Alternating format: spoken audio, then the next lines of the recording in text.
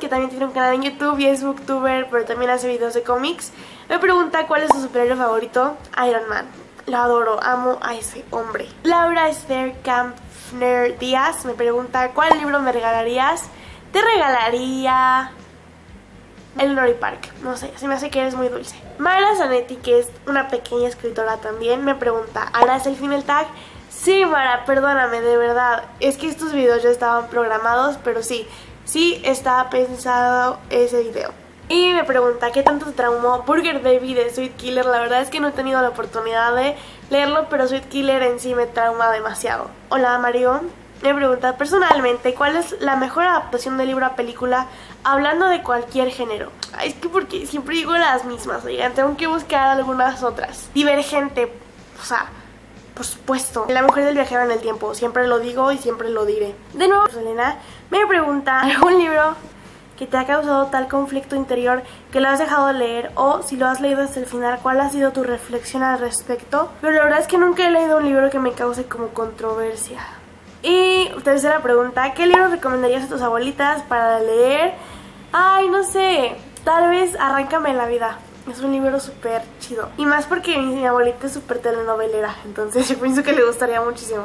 Luli Madrid me pregunta, que también es Vitamina Luz en YouTube, ¿de qué libro te gustaría tener muchas ediciones diferentes? Besitos, ¿vale? Besitos, Luli.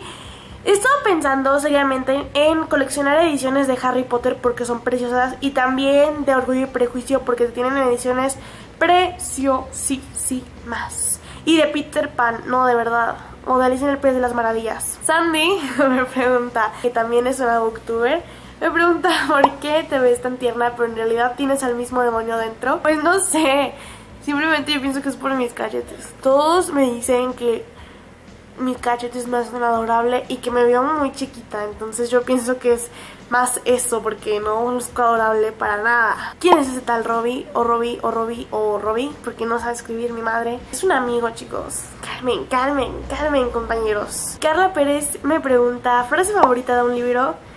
Tenía ganas de preguntar y salir en un video. Ya saliste en un video. Me gusta muchísimo una frase de Luna y el chico de al lado que dice Sal conmigo esta noche, sal conmigo todas las noches Ay no, es hermosísima, es hermosísima no sé, es que es ese momento. Maricose Macías me pregunta, si tu vida fuera un libro, ¿cómo lo titularías? Todos los libros que no pude comprar. De verdad, sufro muchísimo por eso. Eh, Sandy, de nuevo, me vuelve a preguntar, ¿escribes o te gustaría escribir un libro? Escribo, pero no soy tan constante porque se me va la inspiración súper rápido y no llega, y no llega, y no llega. ¿Y de qué sería? Ya dije, de ficción histórica o romance. Mi tía Alejandra Fipe me pregunta, ¿quién es tu tía favorita? Soy como los maestros, no tienen a ningún favorito.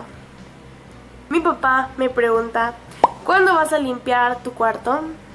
Esta es la pregunta más difícil que me han hecho, así que voy a pasarla porque eso es un tiempo indefinido. Juan Andrés de Bibliomaniac me pregunta, si pudieras adaptar un libro o saga a otro medio, cine, televisión, teatro, etcétera, ¿cuál sería y por qué? Yo adaptaría La peor señora del mundo. Me gustaría mucho ver ese, ese libro en una obra de teatro, la verdad. No sé por qué. Como que sería súper... Wow.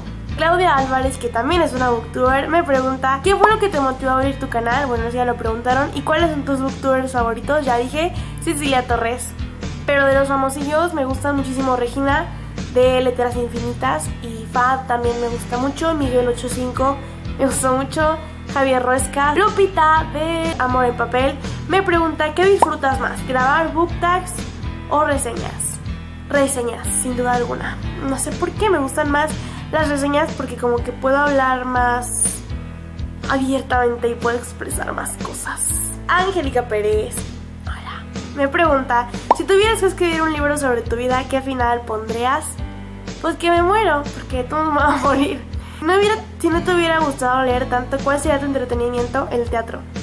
Disfruto muchísimo del teatro y del cine, entonces seguramente sería eso. Por último, Cristi Padilla eh, me pregunta dos preguntas.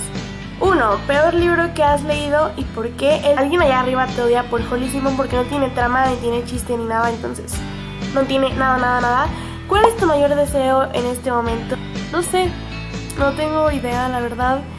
Supongo que las mejores cosas son las que no deseas y cuando las tienes te das cuenta de que es lo que siempre habías querido. Entonces, no lo sé, tal vez escribir un libro, acabar la prepa, eh, ser muy feliz, es hacer saber a las personas lo que pienso, lo que creo, sin importarme lo que ellas piensen o lo que crean. Claro, sin faltarles al respeto, ni ser grosera, ni nada de esas cosas, y sin querer convencerlos de mi opinión. Una persona que no sea crédula. Una persona que sepa en qué creer y sepa a quién seguir. Entonces, para eso tengo que saber mucho, preguntar mucho. Esas fueron todas las preguntas que pudieron hacer y que pude contestar y así bonito. Así que muchísimas gracias por todas sus preguntas. Espero que les haya gustado bastante el video, me encantó, la verdad. La mayoría fueron lo de libros, pero está bien, está bien, no importa, los comprendo, los comprendo. Y bueno, espero que les haya gustado muchísimo el video. Si quieren otro question and answer, pues me lo dicen y así. Espero que me ayuden a llegar ahora a los 300 suscriptores y después a los 500. Esa es la meta en este momento.